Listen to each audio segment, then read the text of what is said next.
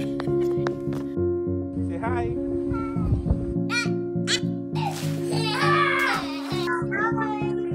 What flavor is it? Chocolate? She plays hard just like the other kids do.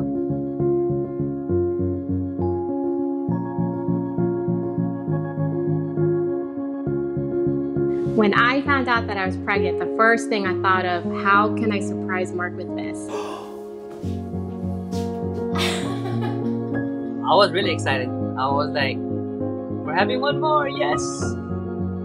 We got the diagnosis of alpha thalassemia major, and that was the first time I have heard of the condition.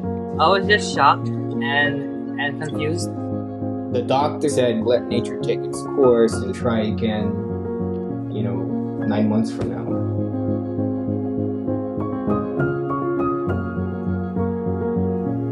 Our thought, of course, was babies don't survive with this diagnosis, with this disorder. That's the information that we got from the doctors because that's pretty much the information they have. My doctor was saying, you know, I, she had heard some things about blood transfusions. We're like, what is that? We had no idea what that was. We knew that this is the right course to take to fight for her.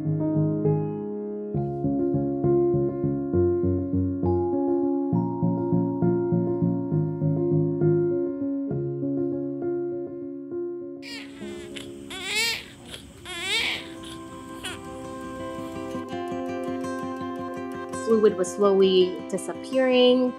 He was growing. When we delivered her and she took that first cry, I think both of us kind of Yeah. looked at each other like, oh my God, she's she's here and she's breathing on her own. just hearing him cry, it was like everything, He's here. everything. This is the miracle baby. His name is Caleb. Person in, in Hawaii who have the in utero transfusion.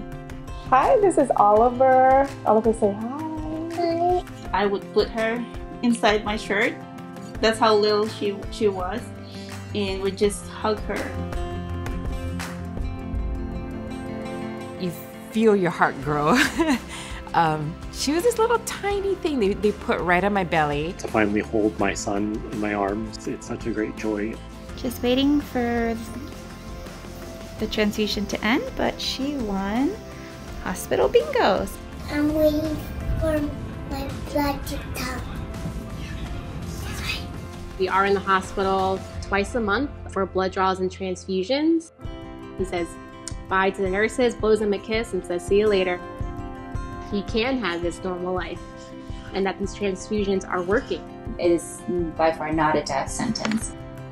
So you never know what's around the corner. Who knows what they're going to come up with in, in Milo's lifetime.